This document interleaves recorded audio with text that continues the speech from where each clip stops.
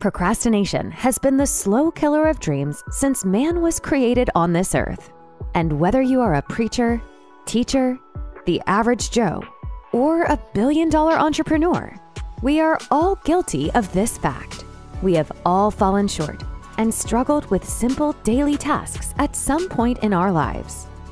Procrastination is the bad habit of putting off until the day after tomorrow what should have been done the day before yesterday. The more time you have to do things, the less you are able to get done. The greatest thief that this world has ever produced is procrastination, and he is still at large. Welcome to Success Diet, the show that educates, motivates, and inspires. Here, we cover topics that will help you in your business careers our mission is to give you all the knowledge necessary for success.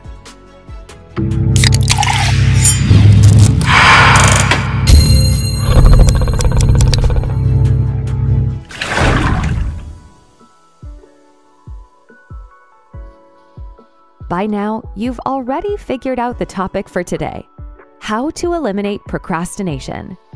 As our boss, Miklos Clarke, loves to say, Fear and procrastination are best friends, and their sole mission is to cripple your dreams.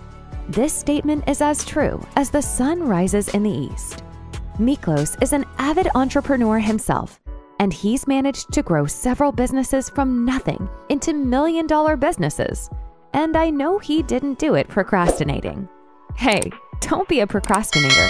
Tap that like button as we achieve success together. 1. The number one way to eliminate procrastination is to set goals. Goal setting is as important for success as oxygen is for life. As the famous quote says, if you fail to plan, you plan to fail. 2. Eliminate distraction and use visual reminders. We live in an age of digital distraction, and it doesn't matter where in the world you live. If you have a mobile phone, chances are you are addicted. And addiction is more like the reason why you keep putting off the minor goals you set, not to mention the major ones. With the rise of technology, we are constantly bombarded with the news feeds, text messages from our friends and colleagues, photo and video alerts from famous influencers.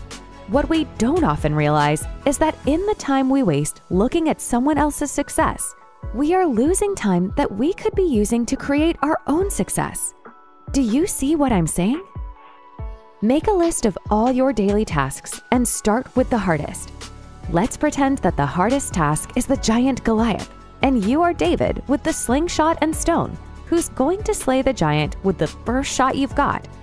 But if you hesitate, then the giant will trample you, and then all your dreams will be no more. Now, I don't have to tell you what move to make. Success is just like David and Goliath.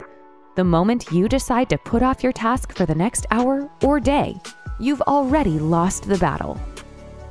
Number three, and our final note about procrastination, is that habit is key. Build good habits, habits of completing what you've started. There is a chemical in your brain called endorphins and it's that good feeling you get whenever you've done something good like completing a task. The more you achieve, the more you'll want to achieve, and soon it will become reflex.